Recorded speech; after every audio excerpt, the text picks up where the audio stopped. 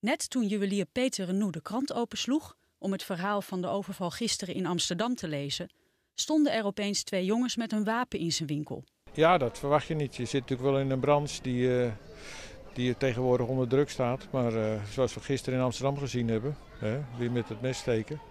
Maar vandaag was ik aan de beurt, ja.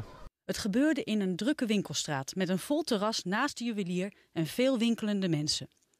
Veel mensen hebben de overval gezien. Om uh, half twaalf uh, vandaag uh, zijn er twee jongens bij mijn buren binnengekomen. Bij Renault, hier naast mij. En ze hebben op klaarlichte dag hebben ze een overval gepleegd. Mijn, terwijl mijn terras hier vol zat met, met gasten. De juwelier had een mooie collectie horloges in de etalage liggen. Die zijn buitgemaakt door de overvallers.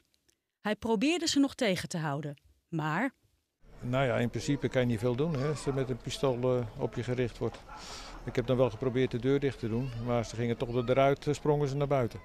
De jongens hebben een raam van de deur met een wapen ingeslagen en zijn na de overval met een scooter gevlucht. Met onder meer een helikopter is te vergeefs naar ze gezocht. Het heeft wel een impact, maar gelukkig ben ik vrij nuchter, dus uh, ik denk al dat ik dit ga overleven.